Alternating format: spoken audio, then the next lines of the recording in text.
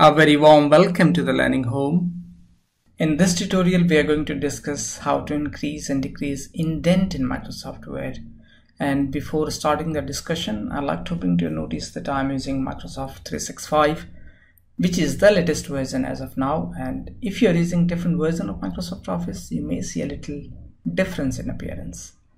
So let's get started. And the first point of discussion is what this feature is and uh, imagine a situation where you have a paragraph and if you want to make some kind of space in the first line or in the hanging lines below one then you can use this feature. Or imagine you want to move this whole paragraph towards the right hand side then this uh, tutorial will be very useful.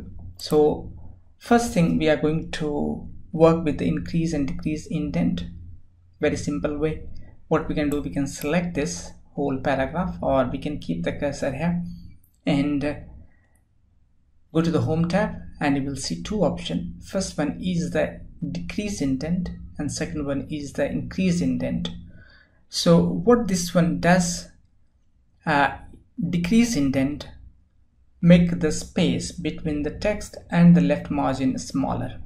And increase indent will make the space between the left margin and the text bigger. So here in this case there is no space. So you can't decrease the indent but you can increase the increase the indent. So what i'm going to do here is select this and use this increase indent feature. So you can see there is a space here. And now if you want to decrease the indent you have to select this option that is called decrease indent. It will make the space smaller and that's what it is doing right now. Similarly if you want to make the whole paragraph in the document just select all and increase indent you will see the whole text has moved towards the right hand side. If you don't like this idea just go back and push it further left. You can do the same thing using the search box and if search box is not activated in your Microsoft Word, you can activate it by pressing Alt plus Q and for my case it is already activated. So I'm going to just type indent and here I'm going to use increase indent and when I press it, you will see the whole text has moved towards the right hand side. If I don't like it, again I can decrease indent from there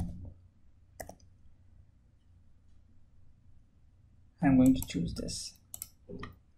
Another option to do this is the uh, ruler bar and which is here. And if it is not activated in your case you can go to the view tab and activate it from here. So for my case again this is activated. So what I'm going to do is I'm going to put the cursor here and I will choose the first line. That is the first line indent I'm going to select it like this. You will see the whole text. The first line is moving towards the right hand side. If I don't like this idea I can go to the control G and it will come back to the normal. If you want to make the whole uh, all the paragraph and the first line should be indented so what you can do you can select all the paragraph and choose the first line and move it towards the right hand side. And you will see all the paragraph became in similar way where the first line is indented. Imagine a case where you want to indent the hanging line. So in hanging line what happens that other than the first line remaining other lines is indented. So I will go back to the previous by pressing Ctrl G here so imagine if you want to keep the first line like this and other lines if you want to move further right. So you can use the hanging indent option. So you can select it. And if you want to select only this just select it and you will see the option here. And you will see the option called hanging indent and then just pull it towards the right hand side if you don't like this control G and if you want to make the whole paragraph indented like this just move it like this. Another option to do the first line indentation is using the tab and backspace. So first go there put the mouse cursor over there and press uh, tab. It will move it will indent the first line. Similarly if you want to indent in the second first line of the second paragraph also just put it like this. If you don't want to put it put backspace the last option to do the indentation is using the paragraph dialog box. So just keep the mouse like this. Go there to the small icon here. In the paragraph group you will see another dialog box has opened and in the indent and spacing option you will see an indentation. And it says the margin. And if you want to make a margin from the left and right you can increase it from here. And you can see a preview like this.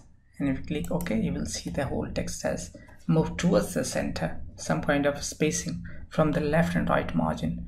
And if you don't like it put control G and it'll come back to the normal.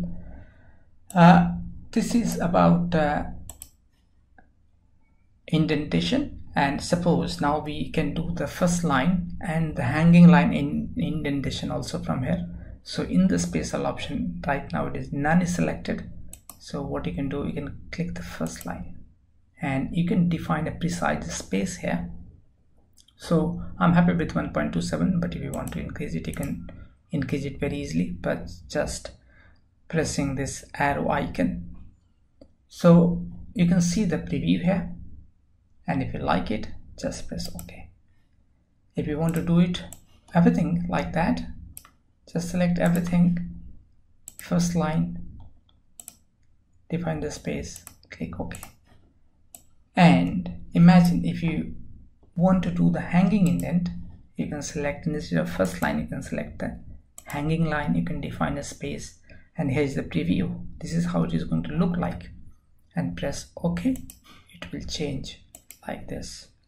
So this is all about the indentation option in Microsoft Word and hope it has given you a little idea about uh, how to indent how to increase and decrease indent in Microsoft Word.